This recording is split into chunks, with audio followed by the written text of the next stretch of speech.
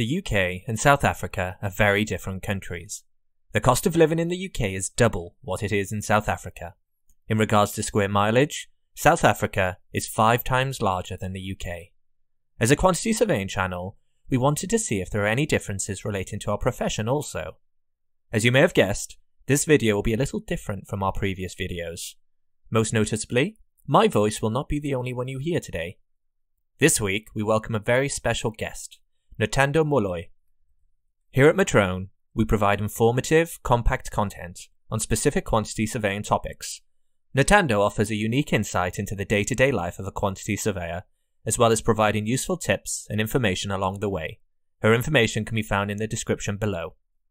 Before we start, if you're enjoying these videos, be sure to subscribe and hit the notification button to get alerts when we upload new content. In this video, we'll be answering the following questions. What are the progressional quantity surveying job titles in the UK and South Africa? What is the average salary at each stage? How many quantity surveyors work in the UK and South Africa? What is the male female split within this sector? How many hours on average will a QS work in both countries? What chartership options are available for quantity surveyors in the UK and South Africa? And finally, what are the most dominant contract types within each country? Titles. In the UK, the usual route starts with apprentice or trainee QS, followed by graduate or assistant QS. We would then lead on to QS, senior QS, managing QS, and finally commercial manager. In South Africa, you start off as a student QS, then graduate or intern QS. You then move to junior QS, which is then followed by intermediate quantity surveyor, then a senior QS, and finally a commercial manager. Salary. Based on information from Glassdoor, a website where employees anonymously submit their salaries, in the UK, an apprentice or trainee salary is 17,500 or 377,000 rand.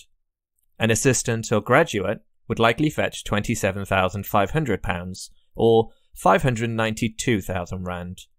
A quantity surveyor would dictate £39,000 or 840,000 Rand.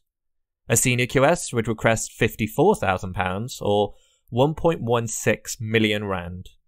A managing QS, £65,500 or 1.4 million Rand and a commercial manager would receive £71,000 or 1.5 million rand. Using PayScale, which is a South African equivalent of Glassdoor, a student QS will roughly receive 96,000 rand or 4,480 pounds. An intern or graduate QS will earn about 175,000 rands or 8,180 pounds. A junior QS will get about 294,000 rands or 13,700 pounds and an intermediate quantity surveyor will receive 329,000 rands or 15,400 pounds. A senior quantity surveyor will receive 648,000 rands or 30,300 pounds. And finally, a commercial manager is likely to receive 900,000 rands or 42,000 pounds. Total number of QSs.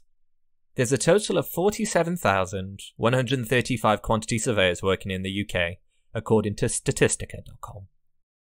According to PRNewsWire.com, the total number of quantity surveyors in South Africa is about 4,539. This number only accounts for registered professionals and candidates, and since I'm not registered yet, I am not included. Male female QS ratio. In the UK, 42,214 are male and 4,921 are female. This results in a split of 89.5% male and 10.5% female. According to Stats SA, in South Africa, the percentage split between male and female quantity surveyors is 89.3% for male and 11% for women. Average working hours. According to Career Smart, the average working hours for a quantity surveyor in the UK is 36 hours, although from personal experience, I would say it's between 40 to 45 hours a week. The average working hours in South Africa is about 45 hours a week, according to ActivePayroll.com, and I can definitely attest to this. Chartership options.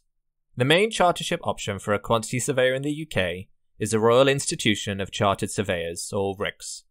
Recently, the Chartered Institute of Civil Engineering Surveyors, or CICES, has become more relevant. You can find more information on both of these options in the description below. South Africa has a number of professional registration routes which quantity surveyors can take, and the two most prominent ones are the SACQSP and the RICS. Contract types. In the UK, we mainly use two contract types, JCT and NEC, with JCT being the most used at present. ACA and CIOB are also used but to much less frequency. Four types of contracts are used in South Africa. They are the JBCC, FIDIC, GCC, and NEC. A different contract is used depending on the type of project you're working on, and the most commonly used one is the JBCC. We hope this has given you an insight into the similarities and differences between quantity surveying in the UK and South Africa. But if you feel you can add to the list, we'd love to see your comments below. Metroun, a commercial hub to your business.